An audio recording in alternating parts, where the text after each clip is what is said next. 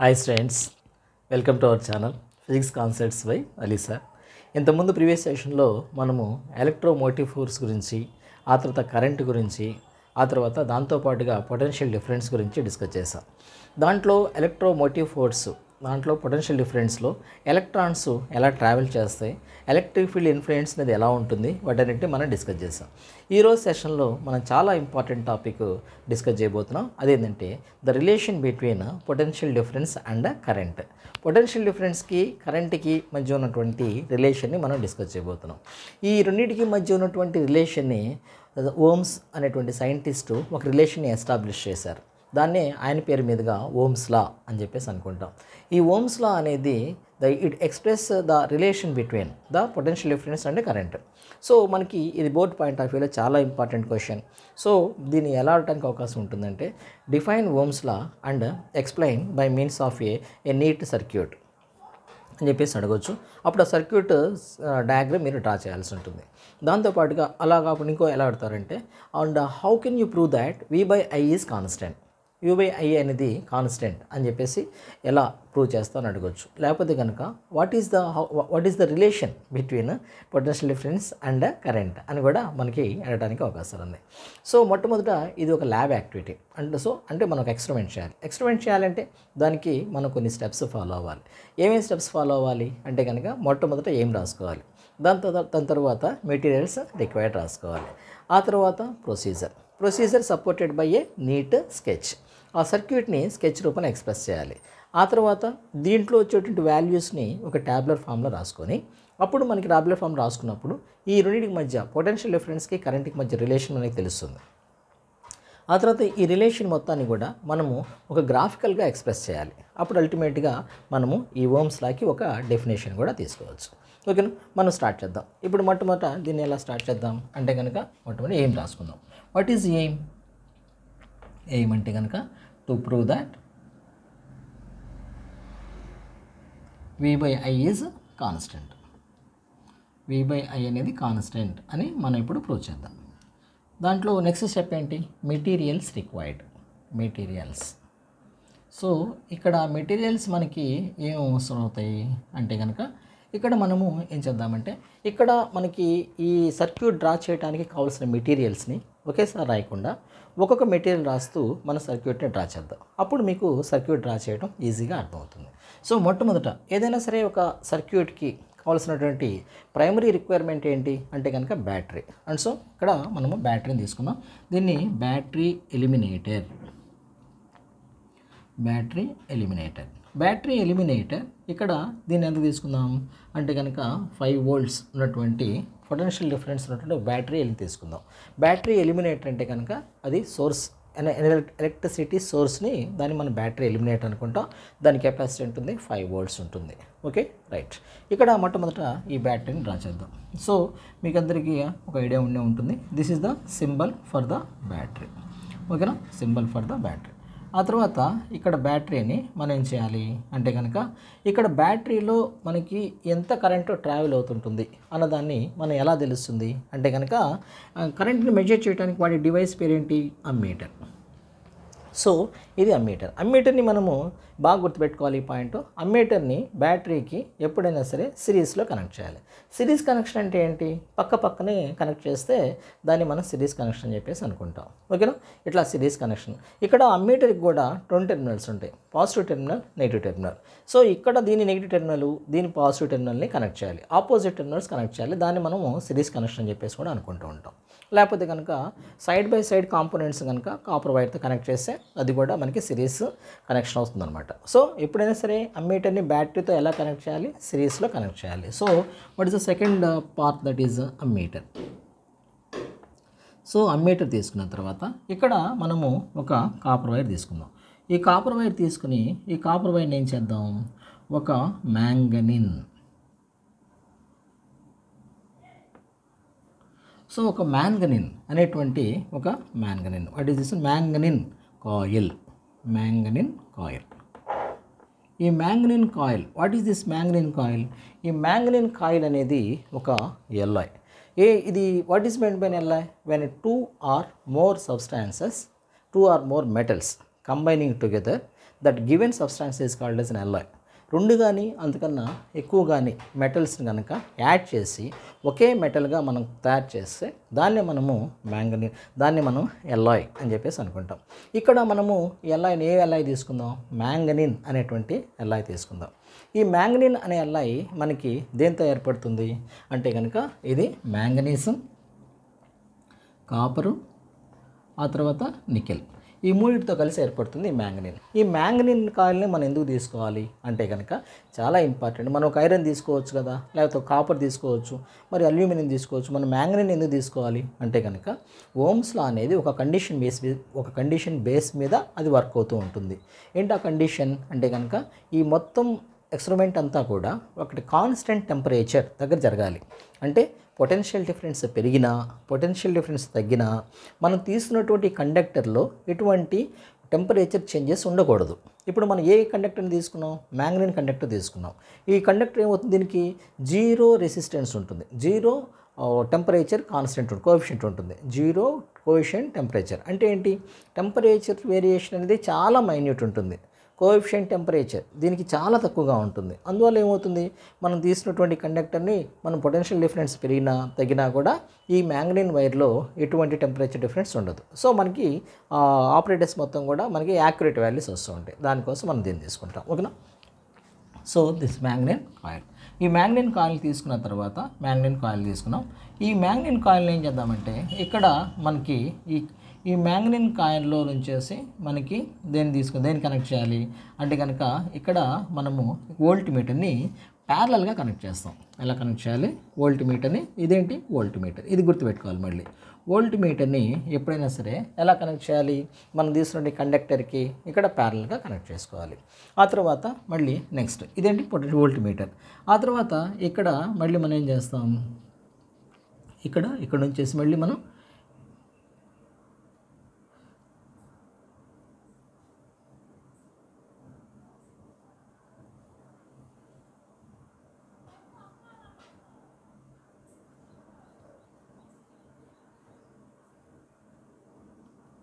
Rheostat అనేటువంటి డివైస్ని మనం connect చేస్తాం. What is that one is rheostat రియోస్టాట్ని మనం ఎందుకు ఇక్కడ ఉన్నటువంటి పొటెన్షియల్ డిఫరెన్స్ని మనకి మనం క్యాలిక్యులేట్ చేయడం కోసం ఈ రియోస్టాట్ని వాడుకుంటాం. రియోస్టాట్ని ఉపయోగించేసి మనం ఇక్కడ పొటెన్షియల్ డిఫరెన్స్ని ఇంక్రీజ్ చేయడం కానీ డిక్రీజ్ చేయడం కానీ చేయొచ్చు. So this is the basical operators of the series ఇక్కడ మనకి ఇక్కడ ఉన్నటువంటి మొత్తము ఈ రియో ఈ మొత్తం మనకి ఓమ్స్ లాకి ఉండాల్సినటువంటి సర్క్యూట్ అనమాట ఇది. ఇక్కడ చూడండి కరెంట్ ఇక్కడ నుంచి ట్రావెల్ అవుతుంది. మనకు తెలుసు కదా పాజిటివ్ టెర్మినల్ నుంచేసి ఇట్లా కరెంట్ ట్రావెల్ అవుతూ ఉంటుంది. ఎందుకని అంటే కనుక ఇక్కడ ఎలక్ట్రాన్స్ నెగిటివ్గా ఉంటాయి ఇవి కండక్టర్లు ఇప్పుడు ఇక్కడ ఉన్నటువంటివి పాజిటివ్ వైపు ట్రావెల్ చేస్తుంటాయి thus all things we discuss before the class and so ఇక్కడ మనకి ఈ విధంగా ఆపరేటర్స్ తీసుకున్నాం. సో ఇక్కడ వీటి వాల్యూస్ కూడా చూద్దాం. ఇప్పుడు మొట్టమొదట ఏం చేయాలి? అమ్మీటర్ని మనం తీసుకుందాం. అంటే కనుక ఇది దాదాపుగా జీరో నుంచి వన్ యాంపియర్ ఉన్నటువంటి అమ్మీటర్ తీసుకోండి. ఆ తర్వాత వోల్ట్ మీటరు డిఫరెన్స్ ఎంత ఉండాలి? అంటే కనుక దగ్గర దగ్గరగా ఇది సిక్స్ వోల్ట్స్ డిఫరెన్స్ ఉన్నటువంటి వోల్ట్ మీటర్ తీసుకోండి. రియో స్టార్ట్ని కూడా అదేవిధంగా సిక్స్ వోల్ట్స్ ఉన్నటువంటి రియో స్టార్ట్ని తీసుకోండి. ఆ తర్వాత ఇప్పుడు మనం ప్రొసీజర్ ఏంటో చూద్దాం. ఇక్కడ మొట్టమొదటి ఏం చేయాలి? ఇక్కడ ఉన్నటువంటి ఈ మనం బ్యాటరీ తీసుకున్నాం కదా battery eliminator four point five దగ్గర వోల్ట్స్ ఉండే విధంగా అడ్జస్ట్ చేసుకోండి. ఫోర్ పాయింట్ ఫైవ్ వోల్ట్స్ ఉండే విధంగా అడ్జస్ట్ చేసుకున్న తర్వాత అది అట్లా ఉంచేసేయండి. ఆ తర్వాత ఇప్పుడు ఏం చేస్తారు? జనరల్గా ప్రొసీజర్ ఏంటి? అంటే కనుక ఈ రియో స్టార్ట్ని తీసుకొని ఈ రియో స్టార్ట్ ద్వారా ఇక్కడ ఉన్నటువంటి పొటెన్షియల్ డిఫరెన్స్ని మనం రెగ్యులేట్ చేయొచ్చు.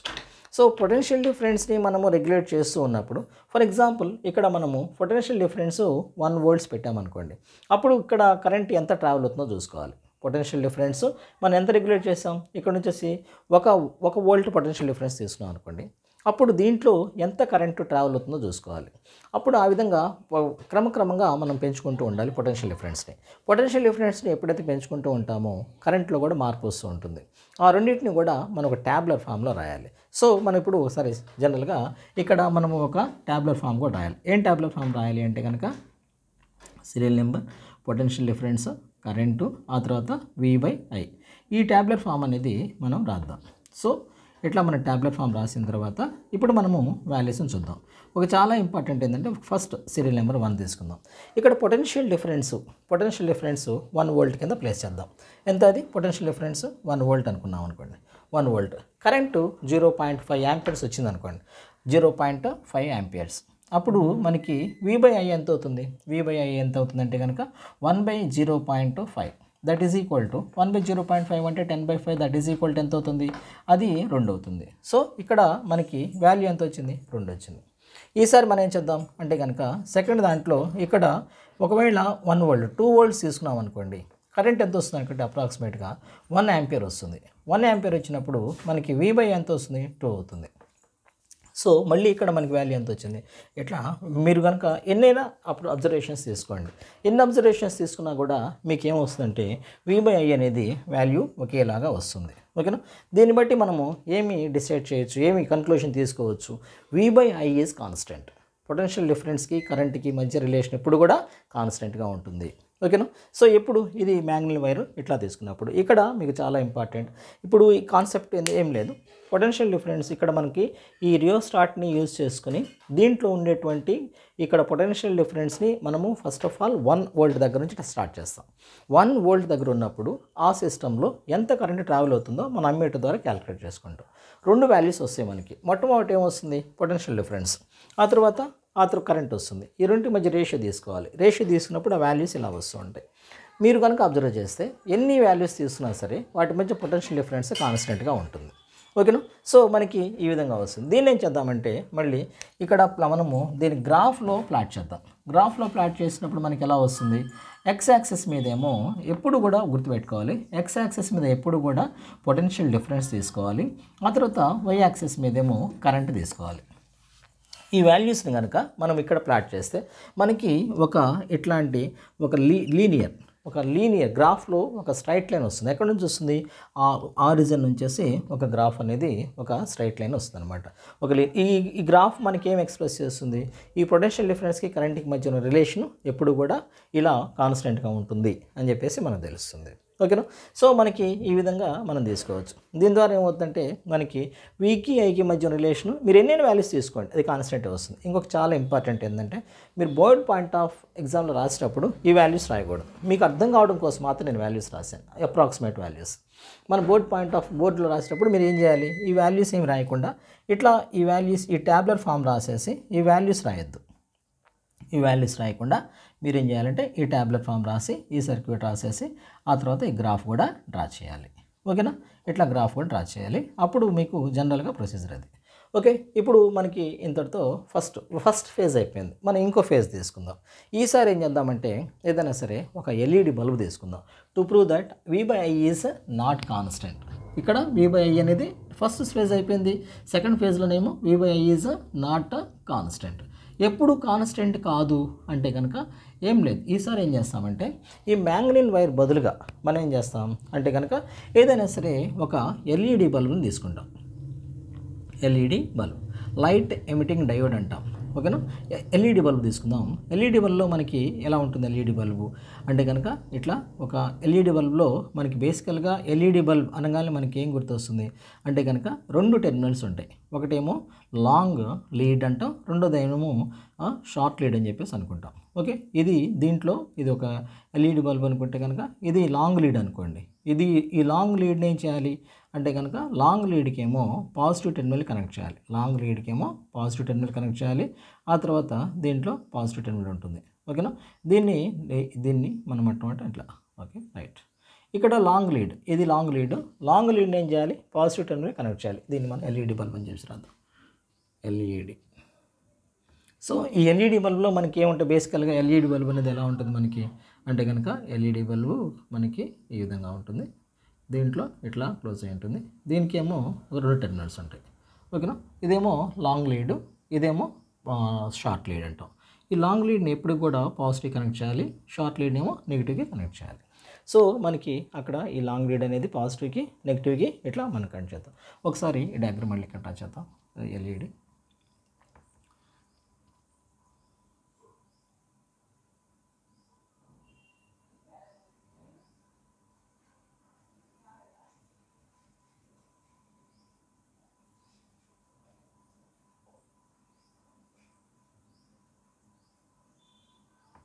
రైట్ సో మనకి ఈ విధంగా ఉంటుంది. దీన్నేమో పాజిటివ్ టెర్మినల్ ఇదేమో నెగిటివ్ టెర్మినల్ చెప్పేసి అనుకుంటాం. ఈ లాంగ్ లీడ్ ఏమో ఇక్కడ చూడండి. ఇక్కడ పాజిటివ్కి పాజిటివ్ కనెక్ట్ చేస్తాం నెగిటివ్కి నెగిటివ్ కనెక్ట్ చేస్తాం ఓకే? Same procedure. మిగిలిన మొత్తం కూడా అన్ని అన్ని మిగిలినవన్నీ కూడా యాస్టేజ్గా ఉంటాయి. ఏ మిగిలిన ఏవి కూడా మారు ఏవి మారు బ్యాటరీ ఎలిమినేటర్ కానీ అమ్మీటర్ ఇవేమి మారు ఓకేనా? అయితే ఇక్కడ ఒక చిన్న కండిషన్ తీసుకోవాలి. ఆ పొటెన్షియల్ డిఫరెన్స్ త్రీ వోల్ట్స్ మాత్రమే తీసుకోవాలి. Potential difference only three volts ఈ సిచ్యుయేషన్లో ఎందుకని త్రీ వోల్ట్స్ తీసుకోవాలి పొటెన్షియల్ డిఫరెన్స్ అంతకన్నా ఎక్కువ పొటెన్షియల్ డిఫరెన్స్ తీసుకుంటే ఇక్కడ ఇది సపోర్ట్ చేయదు. ఇక్కడ ఇది ఎల్ఈడి బల్బు ఫెయిల్ అవుతుందన్నమాట. అందువల్ల కేవలం త్రీ వోల్ట్స్ మాత్రమే తీసుకోవాలి. ఓకే? రైట్ ఇప్పుడు మళ్ళీ ఇప్పుడు ఏం చేయాలి? మళ్ళీ మొదటి నుంచి స్టార్ట్ చేద్దాం. ఇక్కడ మళ్ళీ పొటెన్షియల్ డిఫరెన్స్ ఎంత తీసుకుందాం ఈసారి? పొటెన్షియల్ డిఫరెన్స్ కనుక వోల్టీమీటర్ అండ్ ఇక్కడ పొటెన్షియల్ డిఫరెన్స్ ఎంత తీసుకుందాం? ఇక్కడ ఒక పొటెన్షియల్ డిఫరెన్స్ తీసుకుందాం. అప్పుడు కరెంట్ ఎంత వస్తుంది? అంటే కనుక for example zero point current ఏమో ఒక జీరో పాయింట్ టూ ఫైవ్ ఇచ్చింది అనుకోండి. సో ఇక్కడ ఒక వాల్యూ వస్తుంది. అప్పుడు V by V by I value ఎంత వస్తుంది? Zero point five by and one by zero point two five అంటే కనుక hundred by twenty five so hundred by twenty five అంటే కనుక ఫోర్. కాన్స్టెంట్ ఎంత వచ్చింది ఫోర్ వాల్యూ వచ్చింది. ఇక్కడ ఒకవేళ ఇక్కడ టూ తీసుకున్నాం అనుకోండి పొటెన్షియల్ డిఫరెన్స్ రెండు ఉందనుకోండి అప్పుడు కరెంట్ ఎంత వస్తుంది అంటే కనుక వన్ వచ్చింది అనుకోండి. అప్పుడు వన్ బై టూ అంటే కనుక ఎంత వస్తుంది జీరో పాయింట్ ఫైవ్. ఇట్లా మీరు వాల్యూస్ తీసుకుంటూ వెళ్ళండి. అక్కడ వాల్యూస్ తీసుకుంటూ వెళ్తుంటే ఏమవుతుందంటే ఇక్కడ మీరు అబ్జర్వ్ చేశారా? ఇక్కడ ఫోర్ వచ్చింది ఇక్కడ జీరో పాయింట్ ఫైవ్ వచ్చింది. అంటే ఏంటి? వి బై అనే వి బై ఐ అనేది కాన్స్టెంట్గా లేదు. వి బై ఐ అనేది అది మారిపోతూ ఉందన్నమాట. ఎప్పుడు అది? ఈ ఎల్ఈడి సిచ్యుయేషన్లో ఇప్పుడు బ్యాటరీ బదులుగా మనము ఇక్కడ మనం ఏం తీసుకున్నాం? మ్యాంగనిన్ మ్యాంగనిన్ కాయిల్ బదులుగా మనం ఏం తీసుకున్నాం? ఎల్ఈడి బల్బు తీసుకున్నాం. సో ఈ ఎల్ఈడి బల్బు తీసుకున్నప్పుడు మనకి ఏమైంది? వి బై ఐ అనేది కాన్స్టెంట్గా రాలేదు. అవునా? సో దీన్ని బట్టి మనం ఏం ప్రూవ్ చేయొచ్చు? వి బై ఐ అనేది కాన్స్టెంట్ కాదు కొన్ని సబ్స్టాన్సెస్కి కొన్ని సబ్స్టాన్సెస్కి ఏమో వి బై ఐ అనేది కాన్స్టెంట్ కొన్ని సబ్స్టాన్సెస్కి అయితే వి బై ఐ అనేది కాన్స్టెంట్ కాదు. ఓకే ఎటువంటి సబ్స్టాన్సెస్ కాదు ఎల్ఈడికి మరి అట్లాంటప్పుడు దాని గ్రాఫ్ కూడా ఇలాగే వస్తుందా? అంటే కనుక గ్రాఫ్ నాన్ లీనియర్ వస్తుంది. సో గ్రాఫ్ ఇట్లా వస్తుంది. దీన్ని ఏమంటాం నాన్ లీనియర్ ఇంతకుముందు అయితే కనుక లీనియర్ గ్రాఫ్ లీనియర్ గ్రాఫ్ అంటాం. దీన్ని ఏమంటాం? నాన్ లీనియర్ గ్రాఫ్ అని చెప్పేసి అనుకుంటాం. ఓకేనా? సో దీన్ని బట్టేసి మనం ఏం ప్రూవ్ చేయొచ్చు? వి బై ఐ అనేది కొన్నిటికి కాన్స్టెంట్గా ఉంటుంది. కొన్నిటికేమో కాన్స్టెంట్గా ఉండదు. దీన్ని బేస్ చేసుకుని మనము అన్ని మెటీరియల్స్ని రెండు రకాలుగా రెండు రకాలుగా డివైడ్ చేయొచ్చు. ఏంటి ఆ సబ్స్టాన్ అంటే కనుక ఒకటేమో ohmic substances రెండోదేమో non ohmic substances ohmic substances అంటే కనుక చాలా ఇంపార్టెంట్ చాలాసార్లు ఎగ్జామ్ అడిగారు ఇది. What is meant by ohmic substances the substances which obeys or which follows ohm's law ohm's లాని follow అయ్యేటువంటి సబ్స్టాన్స్ని ఓమిక్ సబ్స్టాన్సెస్ అంటారు. అంటే ఏంటి? అంటే కనుక మనకి ఏదైనా సర్క్యూట్ తీసుకున్నప్పుడు దాంట్లో పొటెన్షియల్ డిఫరెన్స్ పెరుగుతూ ఉంటే కనుక దాంట్లో ఉన్నటువంటి ఆ కరెంట్ కూడా పెరుగుతూ ఉంటుంది. పొటెన్షియల్ డిఫరెన్స్ పెరుగుతుంటే కరెంట్ కూడా పెరుగుతూ ఉంటుంది. ఈ రెండు ప్యారల్గా అవదాంతో ఒకటి పెరుగుతూ ఉంటాయి. ఈ రెండు రేషియో ఎన్ని ఎటువంటి సిచ్యుయేషన్లో కూడా కాన్స్టెంట్గా ఉంటుంది. దాన్ని ఓమిక్ సబ్స్టాన్స్ అంటారు. ఓమిక్ సబ్స్టాన్సెస్కి ఎగ్జాంపుల్స్ ఏంటి? జనరల్గా all metals are ohmic substances. అన్ని మెటల్స్ కూడా ఓమిక్ సబ్స్టాన్స్ కింద వస్తూ ఉంటాయి. మరి దానికి ఇంకోటి ఏంటి టర్మ్ అంటే కనుక ఇది చాలా ఇంపార్టెంట్ చాలా చాలా ఇంపార్టెంట్. Non ohmic substances. ఏ సబ్స్టాన్సెస్ అయితే ఓమ్స్లాని ఫాలో అవ్వవో వాటిని మనము నాన్ ఓమిక్ సబ్స్టాన్సెస్ అని చెప్పేసి అనుకుంటూ ఉంటాం.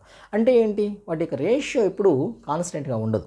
పొటెన్షియల్ డిఫరెన్స్ పెరగడానికి ఆ తర్వాత కరెంట్ డిఫరెన్స్కి చాలా డిఫరెన్స్ ఉంటుంది. ఎటువంటి రేషియో ఇప్పటికీ కాన్స్టెంట్గా ఉండదు. అటువంటి వాటిని నాన్ ఓమిక్ సబ్స్టాన్సెస్ అని చెప్పేసి అంటారు. The substances which does not obey or which does not follow ohm's law are call it as non ohmic substances వాటికి ఎగ్జాంపుల్ ఏం తీసుకుంటాం? జనరల్గా ఎల్ఈడి సెమీ కండక్టర్స్ ఆ తర్వాత జర్మేనియం గ్యాలియం సిలికాన్ వీటన్నిటిని కూడా మనము నాన్ ఓమిక్ సబ్స్టాన్సెస్ కింద తీసుకుంటాం. ఓకేనా?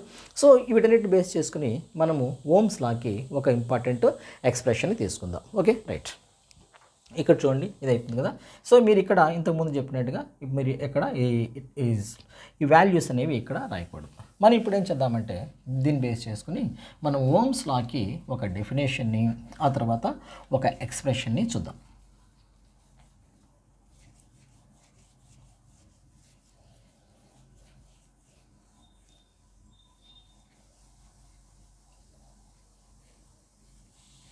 సో ఇక్కడ ఓమ్స్ లాకి మనకి దీన్ని బట్టి మనకి ఓమ్స్ లాకి డెఫినేషన్ ఏమొస్తుంది అంటే కనుక ohm's law states that at constant temperature potential difference is directly proportional to the current అంటే ఒక టెంపరేచర్ కాన్స్టెంట్గా పెట్టిన తర్వాత ఈ సిస్టమ్ మొత్తంలో కూడా టెంపరేచర్ కాన్స్టెంట్గా ఉండాలి.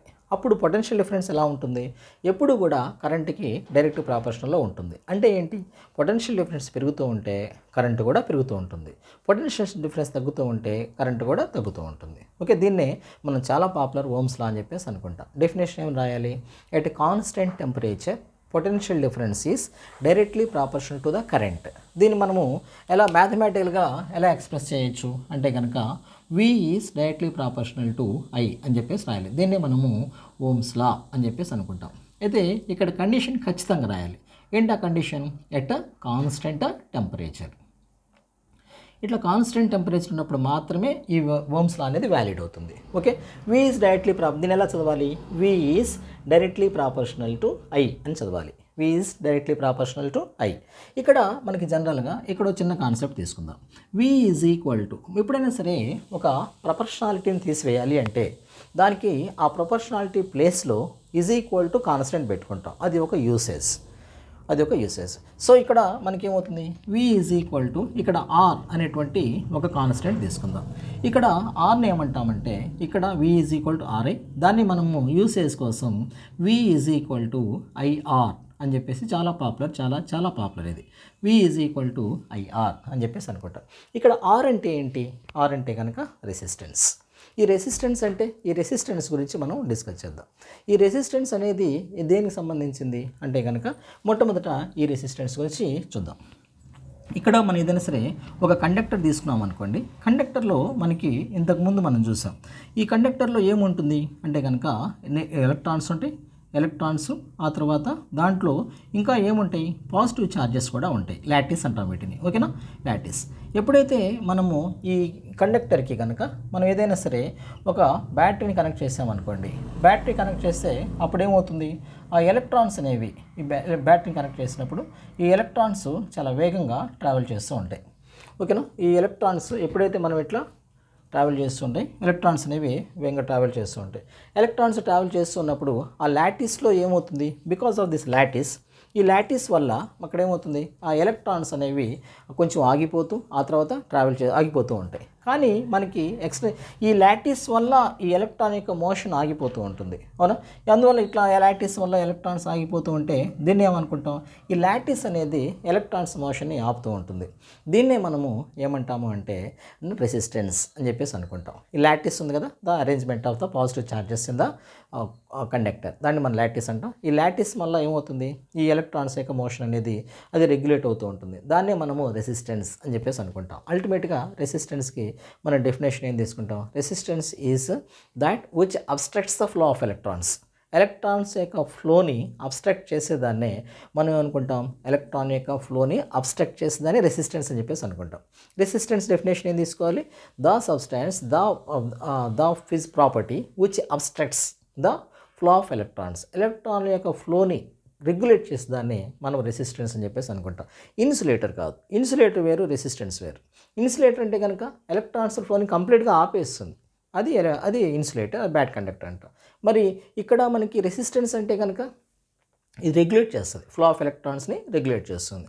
దీన్ని మనము రెసిస్టెన్స్ అని చెప్పేసి అనుకుంటాం. ఓకేనా రెసిస్టెన్స్ అంటే అర్థమైంది కదా? ఈ రెసిస్టెన్స్ అనేది మనకి ఎలా ఉంటుంది? అంటే కనుక ఈ రెసిస్టెన్స్ ఎప్పుడు కూడా మనకి దీన్ని ఆ రెసిస్టెన్స్ని మనము ఓమ్స్ అనేటువంటి యూనిట్స్లో ఎక్స్ప్రెస్ చేస్తాం. ఓమ్స్ దీనికి సింబల్ ఏమో దీని ఒమేగా అని చెప్పేసి అంటారు. ఒమేగా ఆ తర్వాత ఇది కూడా గుర్తుపెట్టుకోవాలి. One kilo kilo ohm is equal to one kilo ohm is equal to one kilo ohm is equal to ten cube ohm. ఆ తర్వాత one mega ohm is equal to ten power six ohm. ఇది కూడా గుర్తుపెట్టుకోండి. ఓకేనా? That is about ohms. ఓకేనా? Ohm's ఆ తర్వాత మళ్ళీ రెసిస్టెన్స్ ఉంది కదా? రెసిస్టెన్స్ అంటే which obstructs the flow of electrons ఎలక్ట్రాన్స్ని ఫ్లోని రెగ్యులేట్ చేసే దాన్ని మనం ఏమనుకుంటాం అంటే రెసిస్టెన్స్ అని చెప్పేసి అనుకుంటాం. ఏ డివైస్ రెసిస్టెన్స్ని మెజర్ చేస్తుంది? అంటే కనుక దాన్ని మనము రెసిస్టర్ అని చెప్పేసి అనుకుంటాం. Resistor resistor is the component and which we are using to regulate the current regulate the flow of electrons. ఇది రెసిస్టర్కి సింబల్. ఓకేనా? రైట్. ఇప్పుడు ఈ రెసిస్టర్ ఈ విధంగా మనం తీసుకున్న తర్వాత ఈ రెసిస్టర్కి ఆ తర్వాత మన ప్రాక్టికల్ లైఫ్లో ఈ ఓమ్స్ లాకి మనకి ఎక్కడ రిలేషన్ ఉందా? అంటే కనుక ఈ ఓమ్స్ లాకి ఉన్నటువంటి ఒక ప్రాక్టికల్ అప్లికేషన్ ఏంటంటే ఎలక్ట్రిక్ షాక్. ఈ ఎలక్ట్రిక్ షాక్ గురించి మనం ఇప్పుడు డిస్కస్ చేద్దాం. చాలాసార్లు ఈ క్వశ్చన్ అడిగాను అనమాట what is meant by electric shock? ఈ ఎలక్ట్రిక్ షాక్ గురించి డిస్కస్ చేయబోయే ముందు మన బాడీలో రెసిస్టెన్స్ ఉంటుందా అంటే కనుక మన బాడీకి కూడా రెసిస్టెన్స్ ఉంటుంది. మన బాడీకి రెసిస్టెన్స్ ఎంతవరకు ఉంటుంది? అంటే కనుక మన బాడీ రెసిస్టెన్స్ వచ్చేటప్పటికల్లా హండ్రెడ్ ఓమ్స్ నుంచి దగ్గర దగ్గరగా మనకి ఫైవ్ ల్యాక్స్ ఓమ్స్ వరకు మనకి రెసిస్టెన్స్ మన బాడీ ఉంటుందన్నమాట. హండ్రెడ్ ఓమ్స్ ఎప్పుడు ఉంటుంది? అంటే కనుక మన బాడీ బాగా వాటర్తో వెట్ అయినప్పుడు దాంతోపాటుగా మనము సాల్ట్ వాటర్లో మనం వెట్ అయినప్పుడు హండ్రెడ్ ఓమ్స్ ఉంటుంది. రెసిస్టెన్స్ చాలా తక్కువగా ఉంటుంది. మన బాడీ ఫుల్ బాగా డ్రైగా ఉందనుకోండి అప్పుడు ఎటువంటి వెట్నెస్ లేదు అప్పర్ లేయర్లో స్కిన్ మీద అట్లా. అప్పుడు మనకి రెసిస్టెన్స్ ఎంత ఉంటుంది ఎంత ఉంటుందంటే ఫైవ్ ల్యాక్ ఓమ్స్ ఉంటుంది. Okay this is the range of the resistance for human body generally okay అప్రాక్సిమేట్గా ఇప్పుడు మనకి ఒక ఏదైనా సరే మనము ఒక ట్వంటీ ఫోర్ వోల్ట్స్ ఉన్నటువంటి ఏదైనా సరే ఒక డివైస్లో ఉన్న డివైస్ని టచ్ చేసామనుకోండి అంటే పొటెన్షియల్ డిఫరెన్స్ ఎంత అనుకుంటున్నాం? V is equal to twenty four volts ఉందనుకోండి. అప్పుడు మనం resistance for example let's assume that ఒకవేళ అనుకుందాం ఈ రెండు సిచ్యుయేషన్స్ తీసుకుందాం. ఇట్లా ఉందనుకోండి మనకి పొటెన్షియల్ డిఫరెన్స్ ఎంత ఉంది ట్వంటీ ఫోర్ వోల్ట్స్ ఉన్నటువంటి ఒక డివైస్ని మనం హోల్డ్ చేసాం దానికి మనం క్యాచ్ చేసాం అప్పుడు దాని రెసిస్టెన్స్ ఒకవేళ మన బాడీ రెసిస్టెన్స్ ఎంత అయితే కనుక అప్పుడు మనకి కరెంట్ ఎంత వస్తుంది? కరెంట్ అనేది question mark V is equal to IR so దాంట్లో ఐ ఈజ్ ఈక్వల్ ఎంత అవుతుంది? వి బై ఆర్ అప్పుడు మనకి ఏమవుతుంది? వి బై ఆర్ అంటే కనుక twenty four by one lakh తీసుకుంటే అప్పుడు మనకి ఎంత వస్తుంది? Zero point zero zero two four amperes వస్తుంది. Zero point zero zero zero two four amperes. ఇది చాలా నెగ్లిజిబుల్ కరెంటు. ఈ కరెంట్ అనేది చాలా తక్కువగా ఉంటుంది. ఈ కరెంటు వల్ల మనకి ఎటువంటి ప్రాబ్లం ఉండదు. ఓకే? ఇంతవరకు ఓకే.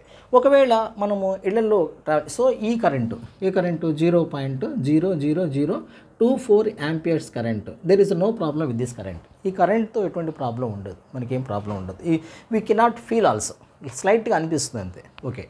ఇప్పుడు మనం ఇంకో సిచ్యుయేషన్ చూద్దాం. మన ఇండ్లలో ఉండేటువంటి పొటెన్షియల్ డిఫరెన్స్ ఎంత ఉంటుంది అంటే కనుక టూ ఫార్టీ వోల్ట్స్ ఉంటుంది. ఈ టూ ఫార్టీ వోల్ట్స్ ఇప్పుడైనా సరే పొరపాటున ఇక టూ ఫార్టీ వోల్ట్స్ ఉన్నటువంటి వైర్ని కనుక మనం టచ్ చేస్తే అప్పుడు ఏమవుతుందో చూద్దాం. ఇప్పుడు మనకి పొటెన్షియల్ డిఫరెన్స్ ఎంత అనుకున్నాం మన రెసిస్టెన్స్ కామన్ రెసిస్టెన్స్ ఎంత అనుకుందాం యావరేజ్ రెసిస్టెన్స్ వన్ ల్యాక్ అనుకోండి. ఇది చాలా ఇంపార్టెంట్. ఇప్పుడు మనము ఈ డిస్కస్ చేయబోతున్నటువంటిది సో ఒకవేళ ఇప్పుడు కనుక మన బాడీలో ఉన్నటువంటి కరెంట్ కనుక కరెంట్ ఎంత ఉంటుంది? రెసిస్టెన్స్ ఇక్కడ వన్ ల్యాక్ అనుకోండి. అప్పుడు resistance average resistance I'm telling about resistance one lakh ఉంది. అప్పుడు పొటెన్షియల్ డిఫరెన్స్ ఎంత అవుతుంది?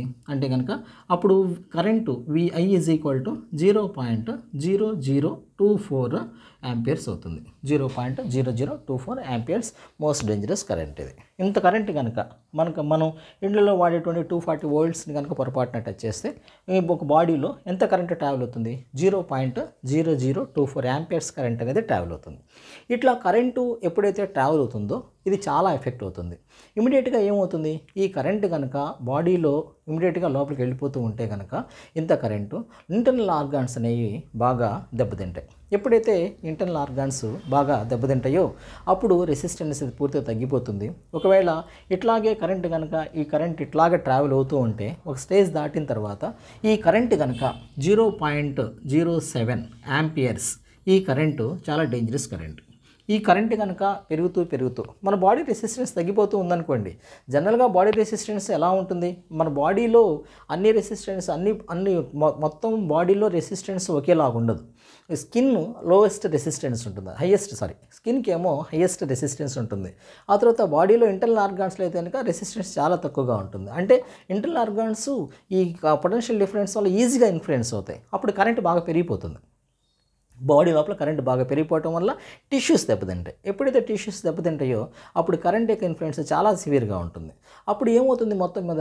అప్పుడు ఇంత కరెంట్ కనుక ట్రావెల్ ఇట్లా కరెంట్ పెరిగిపోతూ ఉంటుంది. రెసిస్టెన్స్ తక్కువగా ఉన్నటువంటి ప్లేస్లో జనరల్గా కరెంటు పొటెన్షియల్ డిఫరెన్స్ ఎటువైపు వెళ్తుంది? ఎటు ఎక్కడైతే రెసిస్టెన్స్ తక్కువగా ఉంటుందో అటువంటి పార్ట్స్ దగ్గర నుంచేసి ఈ పొటెన్షియల్ డిఫరెన్స్ అనేది ఎంటర్ అవుతుంది బాడీలోకి అక్కడ నుంచేసి ఏమవుతుంది? లోపల కరెంట్ పెరిగిపోతుంది. పొటెన్షియల్ డిఫరెన్స్ పెరిగితే కరెంట్ కూడా పెరుగుతుంది కదా? అప్పుడేమవుతుంది? కరెంట్ ఎప్పుడైతే పెరుగుతూ ఉంటుందో అక్కడ ఉన్న ఇంటర్నల్ ఆర్గాన్స్ బాగా డిస్ట్రాయ్ అయిపోతాయి. ఒక స్టేజ్ దాటిన తర్వాత కరెంట్ బాగా పెరిగిపోతూ ఉంటుంది. Zero point zero seven amperes current దగ్గరికి వచ్చినప్పుడు ఇక్కడ వెంటనే కార్డియాక్ అరెస్ట్ అంటే హార్ట్ అటాక్ వస్తుంది. సో అందువల్ల ఇది చాలా డేంజరస్ కరెంట్ ఇది. Zero point zero seven amperes current అనేది చాలా డేంజరస్ కరెంట్ అండ్ సో ఈ కరెంట్ వచ్చినప్పుడు మనిషికి చాలా ప్రాబ్లం అనమాట okay right this is about దీన్ని ఇక్కడ చూడండి మనము ఈ zero point zero seven amperes current ఎప్పుడైతే బాడీలో రీచ్ అవుతుందో దాన్ని మన ఎలక్ట్రిక్ షాక్ అంటే zero point zero zero point where is this this number zero point zero zero twenty two four amperes zero point zero zero two four amperes అనేది చాలా dangerous current అక్కడ నుంచి కనుక కరెంట్ పెరుగుతూ ఉంటే ఇంటర్నల్ ఆర్గాన్స్ దెబ్బతింటాయి.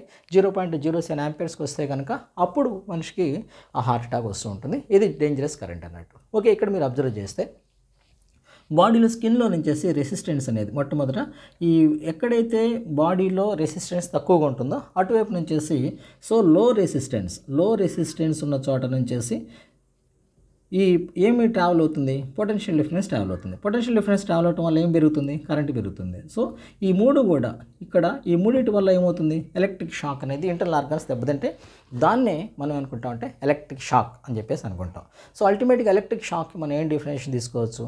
The combining effect of the resistance potential difference and current is collect as a electric shock okay ఇది ఒక ఎగ్జాంపుల్ రైట్ ఆ తర్వాత మళ్ళీ మనకి జనరల్గా ప్రాక్టికల్ లైఫ్లో అర్థమైంది కదా what is meant electric shock electric shock అంటే మనం ఇదే డెఫినేషన్ రాయాలి. In the combining effect of potential difference resistance and current is collect as electric shock electric shock అనేది ఏ కరెంట్ దగ్గర జరుగుతూ ఉంటుంది? అంటే కనుక జనరల్గా zero point zero zero two four amperes దగ్గర జరుగుతుంది. ఇంకా మనం తీసుకుంటే కనుక అది జీరో పాయింట్ జీరో సెవెన్ దగ్గర అది అల్టిమేట్ అనమాట అది డేంజరస్ కరెంట్ ఓకే.